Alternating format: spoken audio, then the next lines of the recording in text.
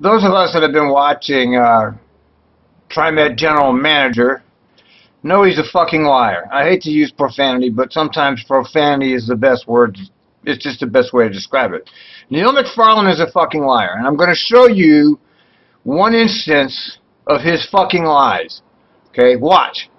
Being here and being through it. I did have a couple of quick updates for you. Um, as you all know, our CFO, Rebecca Hamill, will be leaving us actually last day next week.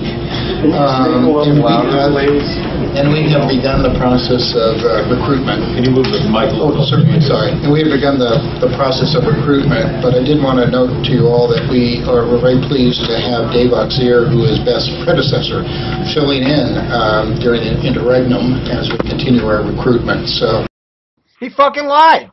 He sat there and lied to us. You know when that clip was? That was one year ago. One year ago. He sat there and told the board of directors he's going to recruit somebody to take over to Hamill, and Oxier's going to be their only interim.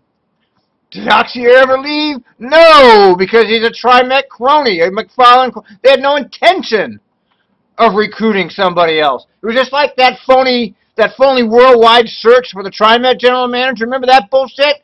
We're gonna ha- we're gonna conduct a, a general search for the best possible candidate anywhere around the world, and then they came up with Neil McFarlane.